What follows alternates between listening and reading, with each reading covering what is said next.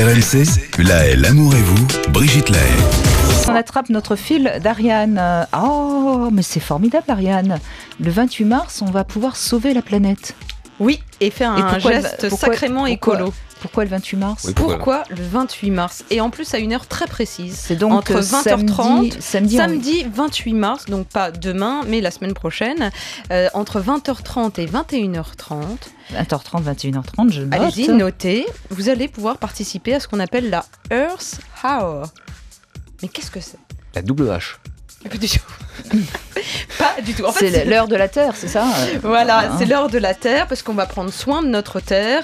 Et en fait, pendant cette heure, eh bien, on vous invite à couper euh, toutes les lumières, tous les appareils électroniques qui peuplent votre quotidien. 20h30, tablettes, c'est l'heure à laquelle on fait le repas. euh, écran. Oui, mais il y en a qui sont. Regardez, même quand on est à table, le nombre de personnes qui sont encore avec leur téléphone en main, on dirait que ça fait partie de leur corps maintenant, ce, ce- ce oui, non, smartphone. mais ça. C'est- ça devient infernal.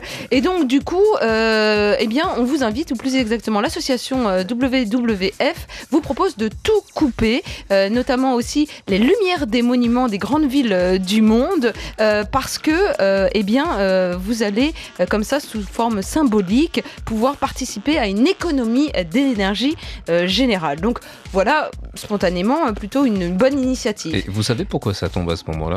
C'est le week-end du changement d'heure. Et voilà. Et donc, du coup, on Oui, gagne, mais sauf on que c'est le dimanche Ouais, que dimanche gagne dans la une nuit, heure. samedi à C'est dans la nuit de samedi à dimanche. il Et- fera, il fera nuit à 20h30. hein. Ah ouais, et, Ah bah surtout euh, dans ces conditions-là. et voilà, exactement. oui. Seulement, voilà, tout ça c'est bien beau, mais On nous peut sommes... allumer une bougie Oui, oui, Non, ça, va, c'est c'est non, possible. non pour le réchauffement de la planète, ça, ça vaut pas non plus.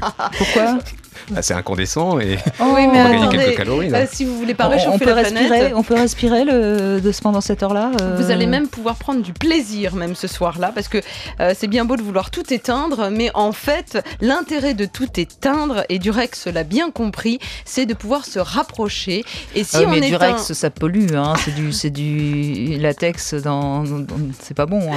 Oui, mais les corps se rapprochent, et là, le réchauffement, Ah euh, oui, mais quand on a, quand on a euh, un fort. orgasme, on respire très fort, on envoie beaucoup de, de gaz Ça fait carbonique, du- ça de la pollue la planète. c'est pas valable non plus. On peut plus rien faire. On va Non, pas non. les dissuader de faire l'amour tout de même, Brigitte. Voilà une occasion de rapprocher les couples pendant 60 minutes dans l'obscurité totale. Mais On tiendront On jamais, vous ils tiendront faire jamais 60, l'amour. ils tiendront jamais 60 minutes, Ariane. Enfin.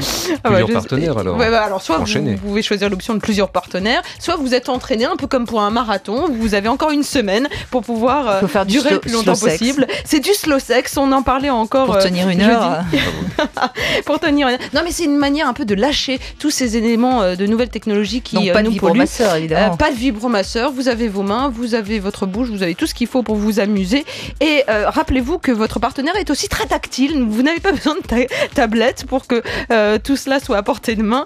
Profitez-en. Le 28 mars, 28 mars pardon, c'est l'occasion de se faire du bien et faire du bien à la planète. Vous allez avoir une, une onde positive, vous qui en parlez souvent, Brigitte, euh, d'amour qui va pouvoir euh, se transmettre entre 20h30 et 21h30 en faisant des économies d'énergie. C'est-à-dire que s'il y a un tremblement de terre quelque part dans le monde entre 20h30 Mm. et 21h30, ce sera lié effectivement à ces rapprochements Aux orgasmes euh, simultanés. Oui, oui. Et si vous entendez un grand Remarquez- cri à l'unisson, eh bien, Ouais. vous aurez compris ce qui se passe. cela, cela dit, on, on en, on en rigole, mais euh, on sait très bien que lorsqu'il y a euh, une, une soirée, par exemple, où plein de gens ensemble vont, vont, vont chanter, vont, vont j'allais dire prier, mais après tout, oui, je le dis, prier, Hmm. il, il se passe quelque chose hein, sur le plan énergétique, donc c'est pas complètement abruti Non, finalement. non, non, c'est une bonne chose, ça nous permet de, de nous rapprocher les uns les autres et puis de faire de nouvelles rencontres. Et puis, Aimons-nous les uns les autres. Voilà. voilà. C'est la bonne parole du 28 mars.